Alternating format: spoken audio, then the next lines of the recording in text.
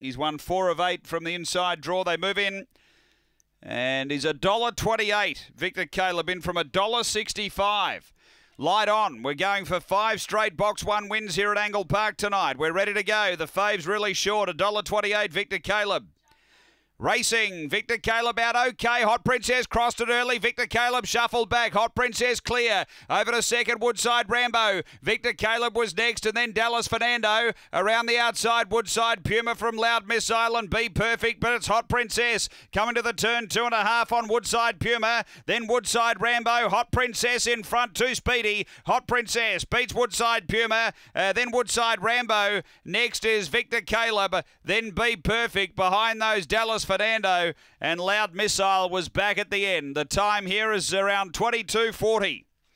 Hot Princess placed behind uh, Long Gully Boy and Roscommon Flyer. Her last two went on speed, grabbed the front tonight and has been too good and uh, has built a pretty solid record strike rate wise over the short course here. Numbers are 2, 8 and 7. Uh, fourth home is number one. The time is 22.36. Hot Princess, Alan Randall. Second going to eight, Woodside Puma Graham Smith, and third to seven, Woodside Rambo, also for Graham Smith.